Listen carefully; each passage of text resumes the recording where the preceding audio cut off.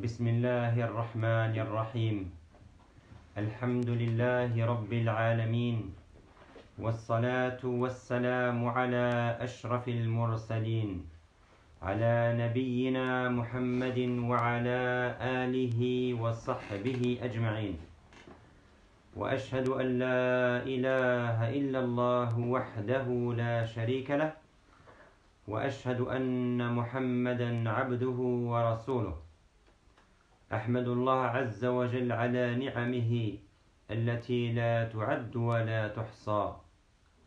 أحمد الله حمدا كثيرا طيبا مباركا فيه. الحمد لله رب العالمين. الحمد والشكر لله. الحمد لله حمدا كما ينبغي لجلال وجهه وعظيم سلطانه. Ich danke Allah subhanahu wa ta'ala und wir danken ihm, wie es seiner Majestät gebührt.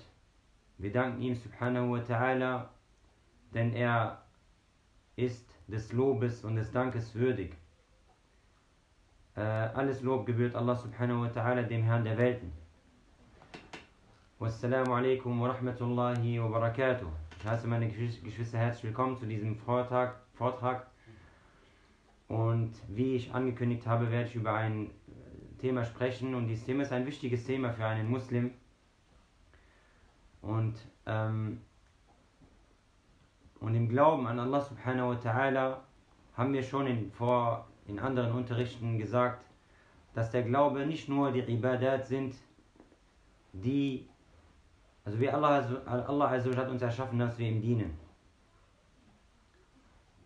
Das ist der Grund für unser Dasein. Alles andere ist eine, ist eine Nebenrolle, ist eine Gnade, ist eine Prüfung, alles andere, egal, Familie, Auto, Spaß, Geld, Kinder, alles ist entweder eine, ist ein, alles ist eine Nebenrolle.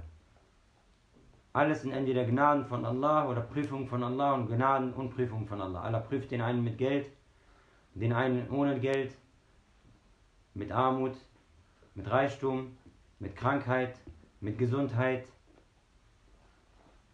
mit Berühmtheit, mit allem. Allah prüft einfach alle Menschen mit den verschiedensten, verschiedensten Sachen. وَنَبْلُوكُمْ بِالْخَيْرِ وَالشَّرِّ فِتْنَةً وَإِلَيْنَا تُرْجَعُونَ Wie Allah sagt im Koran, und wir prüfen euch mit Guten und Schlechten und ihr werdet zu uns zurückkehren. Allah prüft, wen er will. Und das heißt nicht, dass der eine bevorzugt ist. Es kann bevorzugt sein. Und Allah gibt seinen Vorzug und seine Gnade, wem er will. Und er ist gerecht. Subhanahu wa ta'ala.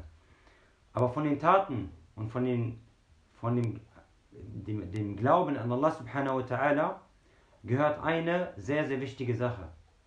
Und zwar, dass wir wissen, dass der Glaube an Allah eine Sache ist, die im Herzen stattfindet. Findet.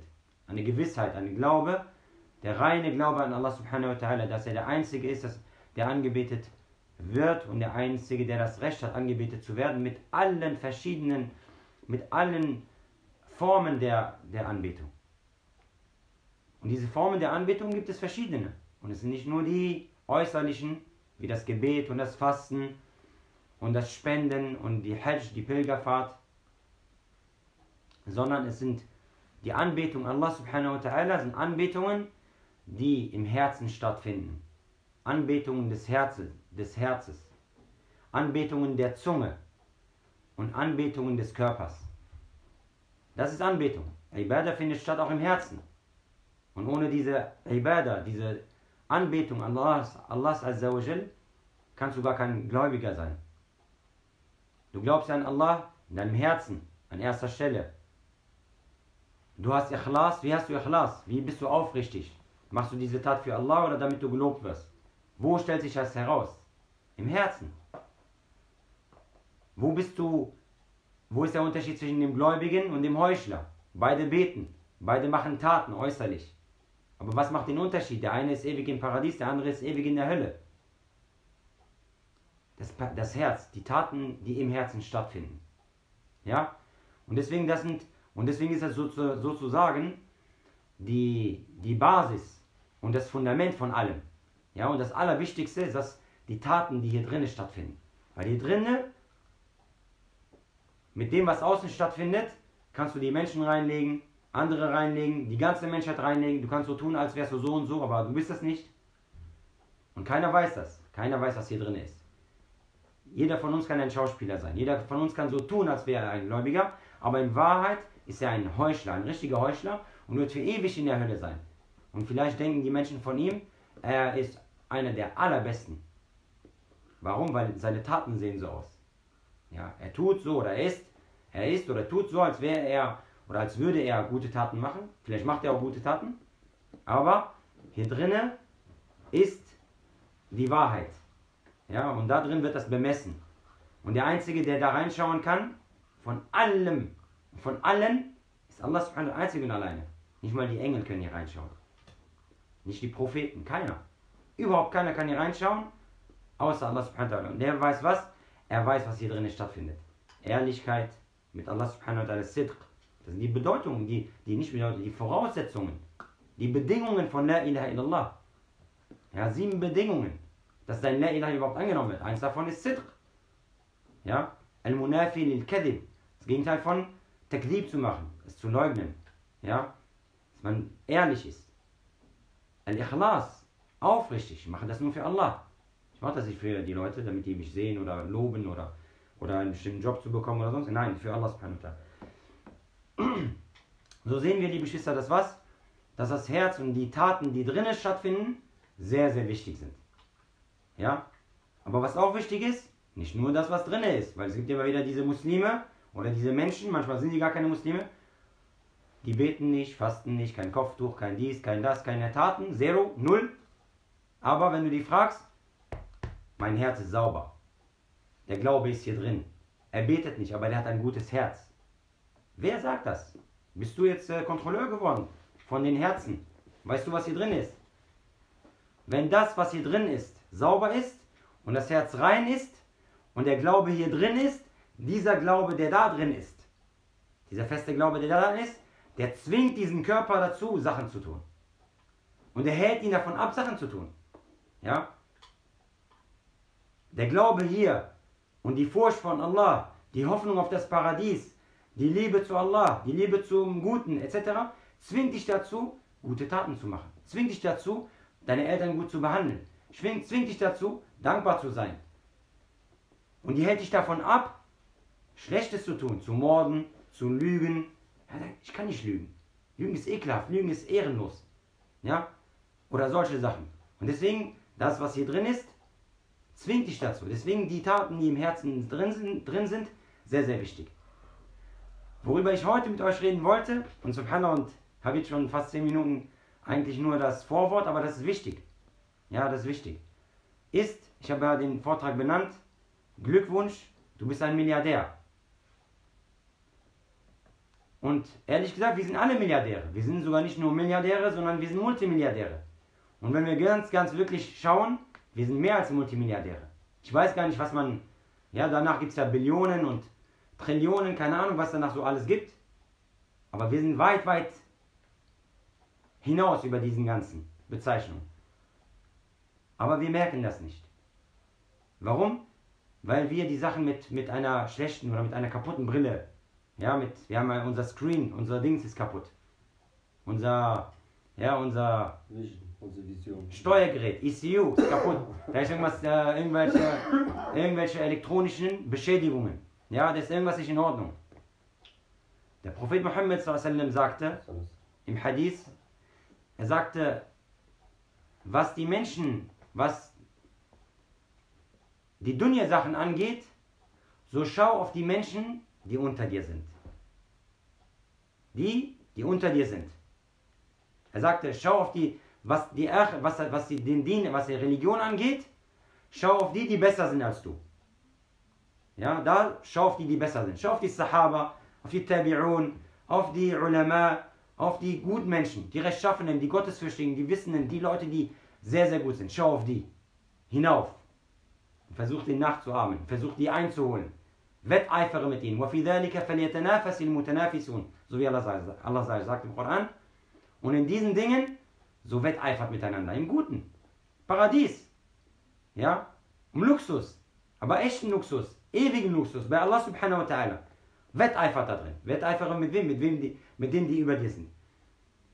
Aber was Dunya angeht, schau auf die Leute, die unter dir sind. die ärmer dran sind. Und das machen wir leider nicht. Wir schauen immer, boah, der und der hat so und so. Der hat das Telefon. Und der hat das Auto. Und der hat so ein Haus. Und der hat so und so viele Sachen. Und der hat dieses und jenes. Und ich, und ich bin miskin. Der Prophet Muhammad sagt in diesem Hadith, er sagte was? Und schau in den Dunya-Sachen auf die, die unter dir sind, sodass du nicht die Gnaden von Allahs gering schätzt und so, ah, ich habe ja nichts. Wenn du darauf schauen würdest, wenn wir wirklich darauf schauen würden, was wir besitzen, was wir besitzen, was andere Leute nicht haben, dann würden wir vielleicht die Gnaden Allahs, die er uns gegeben hat, viel, viel mehr danken und viel, viel mehr dafür danken, dankbar sein. Und das ist zu den, gehört zu den besten Taten, die man besonders hier drinnen machen kann. An erster Stelle. Dankbarkeit. Und daraufhin, Dankbarkeit ist aber auch nicht nur hier. Dankbarkeit ist hier und ist auf der Zunge und ist mit deinen Taten. Wie Allah sagt im Koran auch. Ja? Und, und deswegen, wenn wir schauen würden, unser Leben jetzt, alleine schon wirklich die, die, das, das Nötigste, was man hat, was man haben sollte. Ein Dach über dem Kopf, Essen, so dass du satt bist, dass du keinen Hunger verspürst und du bist in deinem Körper bist du gesund oder bist in Sicherheit. Was willst du noch mehr? Was willst du mehr? Der Prophet Muhammad sagt im Hadith, derjenige, der morgens auferwacht, er ist, sein Körper ist gesund, er hat die Nahrung von diesem einen Tag. Eine, zwei Mahlzeiten. Die Nahrung, das was er Qut Yawmihi Yawm. Er hat dem Qut die Nahrung, die er braucht für diesen einen Tag, um diesen einen Tag einfach okay zu sein. Ja, nicht vollgestopft zu sein, einfach zu überleben. Der hat die Nahrung von einem Tag. Mu'afan fi badani, der ist gesund, sein Körper ist gesund. Aminan fi sirbihi, der ist also in, in Schutz. Der ist in Schutz, ja der hat keine Angst, der ist in Sicherheit. Kein Krieg, der hat nicht Angst, dass er gerade abgeknallt wird oder sonst irgendwas. Derjenige, der das hat, diese drei Sachen hat, der Prophet Muhammad sallallahu alaihi sagte, es ist so, als hätte er die komplette Dunya würde er besitzen. Diese die ganze Dunya, was auf der ganzen Dunya ist? Diamanten, Gold, Milliarden, dies, das, das. Ja, Immobilien, Ferraris, alles, was du alles, was auf dieser Dunya ist, du hast sie, du besitzt sie schon. Wenn du das hast. Aber wer von uns denkt so? Ja? Wer von uns denkt so, dass ich bin schon, ich bin reich? Wir denken das nicht. Warum? Weil wir schauen immer auf die anderen, auf unsere Freunde, auf unsere Kollegen, Brüder, Schwester, Familie etc., Nachbarn, andere Leute. Boah, der fährt ein fettes Auto, der hat ein neues Auto. Ich kann mir nie so ein Auto leisten. Der hat das, der hat dies, der hat das, der hat das. Das ist halt unser Problem. Aber wenn wir darauf schauen würden, wie vielleicht von diesen sieben, circa sieben Milliarden Menschen, die auf dieser Erde leben, wie ungefähr 4, 5 Milliarden, die meisten Menschen auf dieser Erde leben, würden wir vielleicht anders denken. Als ich vor einigen Jahren in, in Afrika in, äh, im Niger war, im Niger, da war ein Dorf, vielleicht habe ich das schon mal erwähnt, die Leute, diese Dorfbewohner, die gehen morgens um 6 Uhr aus dem Haus raus, 6 Uhr morgens. Sie gehen Wasser holen und sie kommen um 14 Uhr zurück. 8 Stunden. 8 Stunden hin und zurück. Zu Fuß. Um was zu holen? Wasser, damit sie überleben. Kannst du dir das vorstellen? Acht Stunden.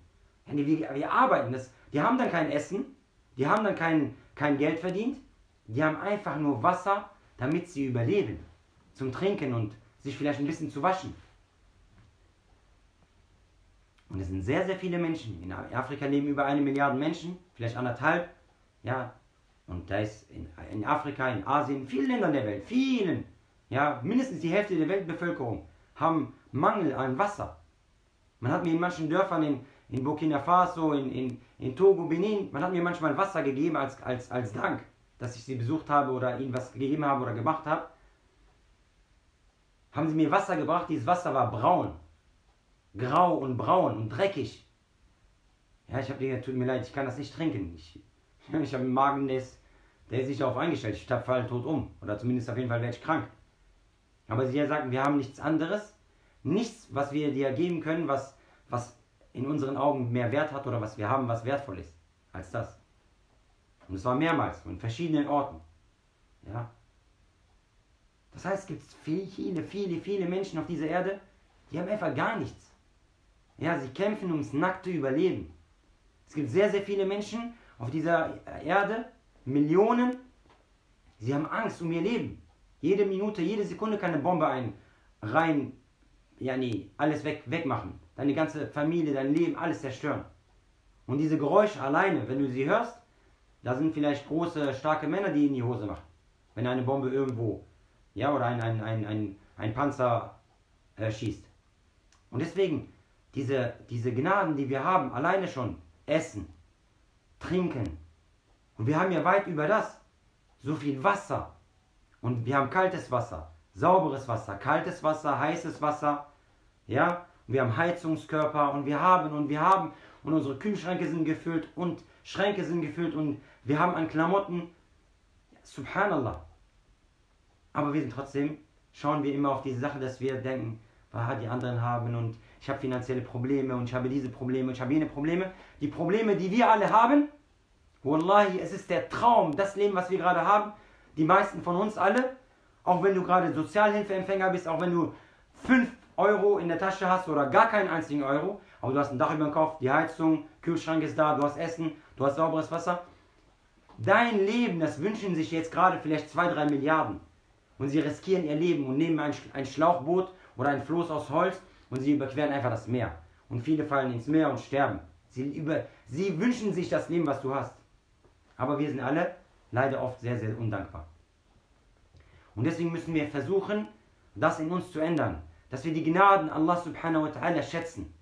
Und dass wir dann Allah subhanahu wa ta'ala dafür danken.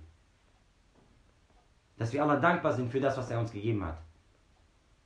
Du hast Eltern, danke Allah, dass du Eltern hast. Andere Leute, es gibt sehr, sehr viele Millionen von Weisen auf dieser Erde, die keine Eltern haben, die ihnen Geschenke kaufen und sie in den Arm nehmen oder was auch immer, mit denen was unternehmen und und und und und. Andere haben keine Eltern. Andere haben keinen Vater, andere haben keine Mutter. Andere haben dieses nicht, andere haben die Gesundheit nicht, die du hast. Viele Menschen wünschen sich einfach nur zu laufen, nur laufen zu können. Hände zu haben, sehen zu können. Diese, diese Gesundheit, diese Gnaden, die wir haben, es ist der Traum von Millionen von Menschen. Aber wer von uns ist dankbar und dankt Allah subhanahu wa ta'ala jeden einzelnen Tag? Und wenn er sagt, Alhamdulillahi Rabbil Alamin, dass er das verinnerlicht. Der Koran hat angefangen mit Alhamdulillahi Rabbil Alamin. Alles Lob, alles Dank gebührt Allah. Die Fatiha ist die gewaltigste Sura des Korans und sie fängt an mit Alhamdulillahi Rabbil Alamin. Alles Dank gebührt Allah subhanahu wa ta'ala. Allah subhanahu wa ta'ala, er spricht sich selbst diesen Lob aus, er lobt sich selbst und Allah hat das Recht, das zu machen, weil er ist, Lob, er ist des Lobes und des Dankes würdig. So fangen viele, äh, viele Suren im Koran an mit Alhamdulillahi alladhi. Wie Surat al-Kahf und viele andere Suren auch. Fangen an mit Alhamdulillah. Allah lobt und preist sich selbst. Warum? Weil er, hat es, er, ist, er ist würdig, gepreist zu werden und gelobt zu werden.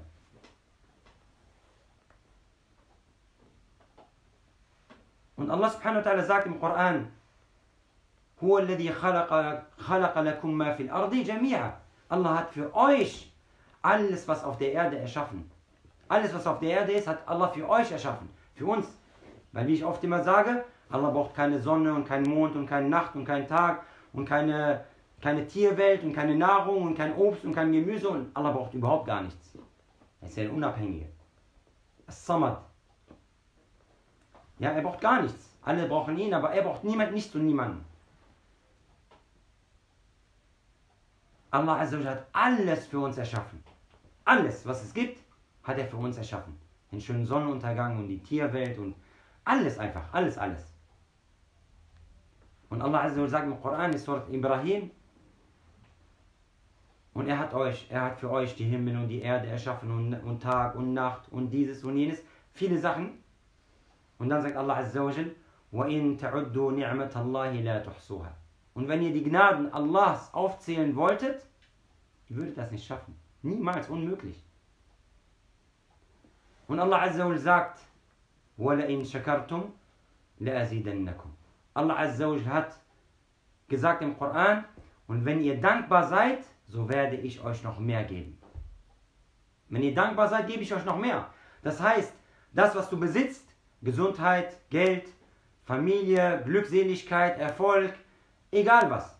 Egal was du an Gutem hast, an Glaube, an Wissen, wenn du Allah dankbar bist, Allah wird dir noch mehr davon geben. Allah wird dir noch mehr davon geben. Das heißt, um, um, damit es dir besser geht, sei dankbar für das, was du hast. Statt das, was wir alle machen, ja, ich habe das, ich habe Probleme, ich habe immer dieses Meckern. Immer dieses Meckern, immer dieses, äh, ähm, wie das? Unzufrieden sein. Unzufrieden sein und, ja, und, äh, und sein, ja, nee. Wie kann man noch sagen? Nörgeln. Nörgeln, etc. Diese ganzen Sachen, ja? Stattdessen sollten wir was machen? Weil das, macht, das ist ja genau das Gegenteil. Weil Allah sagt in diesem Koran-Vers, وَلَئِنْ شَكَرْتُمْ لَأَزِدَنَّكُمْ وَلَئِنْ كَفَرْتُمْ إِنَّ عَذَابِي إِنَّ عَذَابِي لَشَدِيدٌ Wenn ihr dankbar seid, werde ich euch noch mehr geben. Wenn ihr aber Kufr macht, so ist meine Strafe gewaltig. Und Kufr hier ist gemeint, Kufr mit der Ni'ma, mit den Gnaden, die ich euch gebe.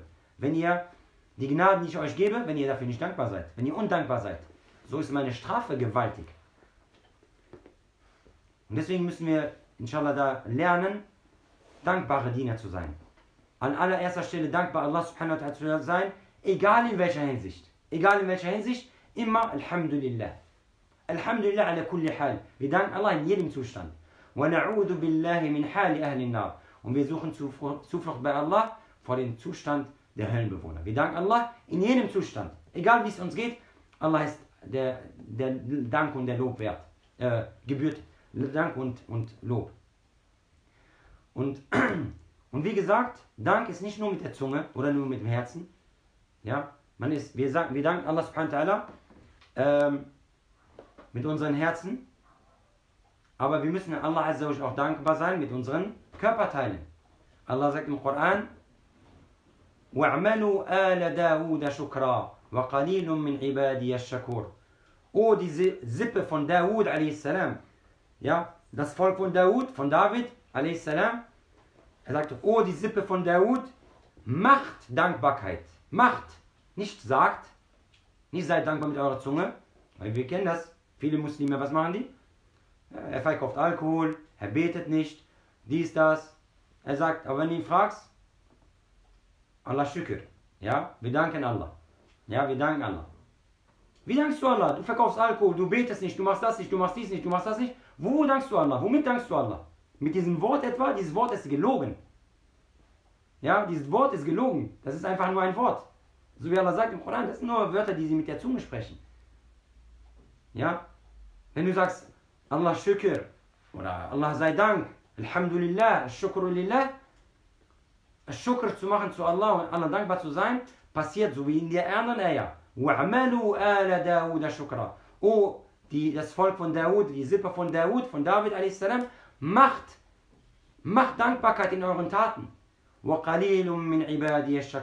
Denn ganz wenige meiner Diener sind dankbar. Ganz wenige, die meisten sind undankbar. Die meisten Menschen sind undankbar. Und zum Schluss noch, liebe Geschwister, auch, was wichtig ist, der Prophet Mohammed Muhammad sagte, Man lam yashkurin nas, lam yashkurillah.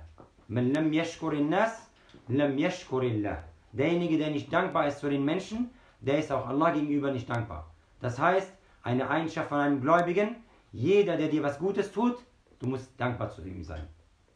Warum haben die Eltern so eine hohe Stufe bei Allah? Weil sie für dich aufgeopfert haben, weil die Schmerzen hatten, weil die Probleme hatten, weil die gekämpft haben, weil, weil, weil. Deswegen ist der Dank und die Gehorsamkeit ihm gegenüber und, und zu den, gehört zu den besten Taten. Und ihnen schlecht gegenüber zu sein, zu den allerschlimmsten Taten. Warum? Weil sie dir so viel gegeben haben. Ja? Aber im Allgemeinen zählt es für alle Menschen.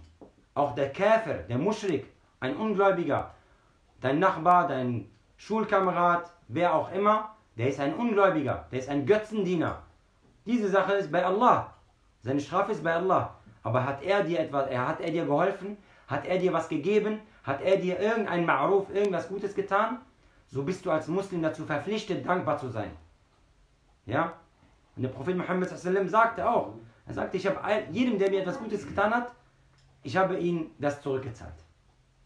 Der Einzige, bei dem ich es nicht geschafft habe oder es nicht schaffe, ist Abu Bakr. Das überlasse ich Allah subhanahu wa ta'ala, weil einfach zu viel. Abu Bakr hat alles gegeben. Wie er gesagt hat im Hadith, als der Prophet Muhammad wasallam gesagt hat, Ein- äh, der Prophet Muhammad wasallam sagte, kurz bevor er starb, er sagte, Allah hat einem Diener, einem seiner Diener, die Möglichkeit gegeben, äh, noch zu bleiben oder zurückzugehen zu seinem Schöpfer und er hat entschieden, zurückzugehen zu seinem Schöpfer. Der Prophet Muhammad wasallam hat das gesagt. Die Sahaba haben ja nicht verstanden, die wussten ja nicht, wen er meint. Abu Bakr ist aufgestanden und hat dann gesagt, Ja Rasulullah, O Gesandter Allahs, wir haben für dich unsere Familien geopfert und wir opfern für dich unser Leben und alles. Ja, und die Sahaba haben nicht verstanden, was macht Abu Bakr? Der steht auf und fängt an zu weinen und er spricht solche Sachen. Der, warum? Weil er war der Einzige, der verstanden hat, von wem der Prophet wasallam spricht, dass er von sich selber spricht. Dass Allah also ihm diesen Vorschlag gegeben hat, den er den Propheten immer gab. Entweder, dass sie abberufen werden und dass sie noch ein längeres Leben haben. Abu Bakr as-Siddiq war sehr, sehr eng mit ihm. Er war sein bester Freund vor dem Prophetentum und nach dem Prophetentum. Deswegen hat er es verstanden. Und dann hat er verstanden, dass der Prophet wasallam damit meint, dass er jetzt gehen wird, dass er sterben wird. Und deswegen hat Abu anhu geweint und hat diese Aussage gemacht. Und der Prophet wasallam sagte deswegen, aus diesem Grund dann, äh, ich habe allen, ja, allen es wieder gut yani, zurückgetan. Jeder, der mir etwas Gutes gegeben hat oder etwas, etwas für mich gemacht hat, ich habe es ihm zurückgegeben. Außer Abu Bakr radiallahu anhu. Ich, ich habe dieses Allah überlassen. Weil er zu viel aufgeopfert. Sallallahu. Äh, und, und das lernen wir dadurch, liebe Geschwister, dass wir was? Dass wir versuchen müssen, den Menschen dankbar zu sein. Wenn dir jemand was Gutes getan hat, egal wer, egal wer, du musst dankbar sein. Ja, versuch es ihm zurückzugeben. Minimum das Gleiche. Ja, Minimum das Gleiche zurückzugeben. Wenn nicht besser. Das Mindeste, was du sagst, und eines der besten Sachen, dass du sagst, Jazakallahu khair, wenn er ein Muslim ist. Möge Allah dir Gutes geben. Ja? Dann hast du in diese Dua hast du ihm sehr, sehr viel ge gegeben. Bei einem Nicht-Muslim kannst du dich bedanken, kannst du ihm etwas schenken, kannst du ihm Dua für ihn machen, dass Allah ihn recht leitet. Ja? Und dann hast du ihm inshallah auch sehr, sehr viel geholfen und zurückgezahlt äh, auf beste Art und Weise. Aber im Allgemeinen, eine der besten Taten, die man machen kann und Eigenschaften, die man hat, dankbar zu sein. An allererster Stelle Allah subhanahu wa ta'ala gegenüber. Immer dankbar zu sein. Für alles, was man hat. Alles, was man sieht und was man nicht sieht, was man spürt, was man nicht spürt. Du gehst schlafen. Und wenn du schläfst, Allah regelt alles, was in deinem Körper ist. Die roten Blutkörperchen und dieses und jenes und die Verarbeitung von Vitaminen und das und das muss dahin und das. Subhanal Khaliq, was alles da drin stattfindet. In diesem Körper. Du bist am Schlafen. Stell dir vor, Allah hätte uns uns selbst überlassen. Wir sind finnig. Wir sind, ja, wir sind gone. Alles vorbei. Wir können nichts regeln für uns. Deswegen sagte der Prophet Muhammad und brachte uns bei, وَلَا تَكِلْنِي إِلَى نَفْسِي طَرْفَةَ عَيْنٍ Oh Allah, lass mich nicht mal ein, einen Augenblick mir selbst überlassen. Ja? Oh Allah, regel du für alles für mich. Ja? Warum? Weil Allah, Allah ist der, der alles verwaltet. Himmel und Erde und alles, diese, das Ganze in uns drin und um uns herum und im Himmel und auf der Erde. Subhanallah. Diese Bienen, die wir manchmal so wegjagen und ja, die, wir, die uns stören und vielleicht der eine oder andere beleidigt sie. Wenn diese Bienen da nicht wären, würden wir gar nicht leben. Und so vieles in dieser Erde hat Allah gemacht und perfekt erschaffen. Und was verlangt er von uns? Nur, dass wir ihm, ihm dankbar sind, subhanallah. Und deswegen möge Allah also uns zu den dankbaren Dienern gehören lassen und uns nicht zu denen gehören lassen, die die Dankbarkeit äh, ver- vergessen oder unterschätzen und nicht reichlich davon ähm, praktizieren. Möge Allah uns alle recht leiten. Subhanak Allahumma wa bihamdik. Ashhadu an la ilaha illa ant. Astaghfiruka wa atubu ilayk. Wa akhiru da'wana anil hamdulillahi rabbil alamin.